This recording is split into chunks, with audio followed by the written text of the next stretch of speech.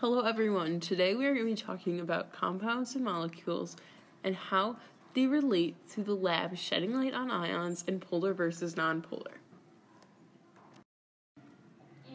Okay, so first we're going to talk about compounds, elements, and mixtures. An element is a pure substance of the simplest form. It can often be found on the periodic table of elements, hence the name. A compound is two or more different elements that have chemically bonded together. charges came together and they, they vibrate to each other and they connect. Also, compounds can not be physically separated. And last is a mixture. Two or more substances that are mixed together but can be separated through physical means.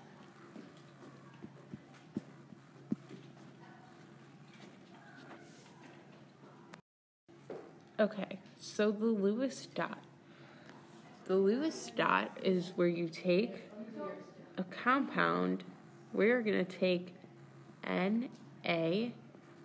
NaF, which is sodium fluoride, and we are going to make a Lewis dot structure.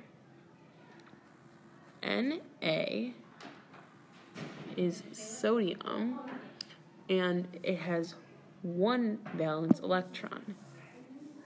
We can tell that it has one valence electron because of the Roman numeral on top of the group that it's in.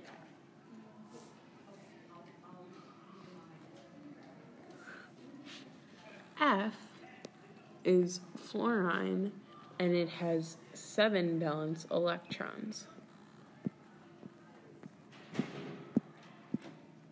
Seven. Each element wants to have a full shell of valence electrons. So Na is going to give F its valence electron. Now F has a full eight valence electrons, which is the octet rule, and Na will also have all eight because it will be full after transferring the one valence electron. Ionic versus covalent. Ionic and covalent are very different and have many differences that mm-hmm. prove so. Ionic steals electrons, like we just saw in the Lewis dot thing. Also, ionic conducts heat and electricity, as well as has high melting points. But covalent shares electrons and does not conduct heat and electricity. It also has lower melting points. An example of ionic is NaF, sodium fluoride, which we just saw in the example before. And an example of covalent is water, which is H2O. Formula weight. In this example, we're going to find the formula weight of water. So we're going to start with the hydrogen atom, which is H. There are two hydrogen atoms, and we can tell this by the way it's stated. In subscript right here, we have a little 2. That shows us that there are two hydrogen atoms. The atomic weight of hydrogen is 1.0079. We have to multiply this by 2 because there are two hydrogen atoms, and we get 2.0158. Next is the oxygen atom, and there's only one because there's nothing in subscript next to the O. There is one hydrogen atom. I mean, oxygen, excuse me. And the atomic weight is 15.9994 since there is only one and we don't have to multiply it by anything. Next, we're going to add the two together, and we're going to get 18.0152. In, in the hydrogen, there is one, two, three, four, five digits. So we're going to count one, two, three, four, five digits. So that means we're going to have to X out 2 and leave it as 18.015 G slash mole. And that stands for grams per molecule. And that's how you get your answer. Electronegativity and percent ionic character. So we are going to find the electronegativity and the percent ionic character for water, which is simply made up of hydrogen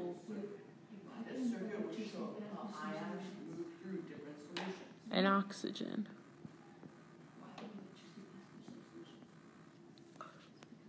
The electronegativity for hydrogen is 2.0 and for oxygen is 3.5. You can find this on the back side of the periodic tables we have in class on the top right corner. Now we are going to subtract the 2 and get 1.5. Next, we're going to go to the the percent ionic character chart and find 1.5. 1.5 on the chart says that it is 43% ionic. And then that would be our answer. Now we are going to talk about the lab shedding light on ions. In this lab, we took two plates, one positively charged and one negatively charged, with ions, and put them together to make the bulb light up.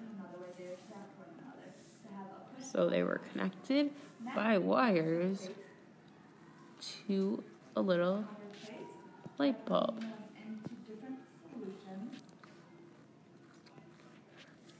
Once the plates touched, the light bulb lit up. When you pass an electric current through a solution, ions migrate towards the conductor, used to make electrical current, which was when the plates touched, and sent through the ionic solution. During electrolysis, positively charged ions moved to the negative electrode. So, when we placed them in the solutions, we touched them together and see if they could conduct electricity for the light bulb. Electrode is a conductor used to make electrical contact with a part of an electrical circuit that is not metallic, aka one of the two points through which electricity throws flows into or out of a battery, which this was also connected to. Polar versus non-polar. We put different substances in water and see if they dissolved. In water and in oil.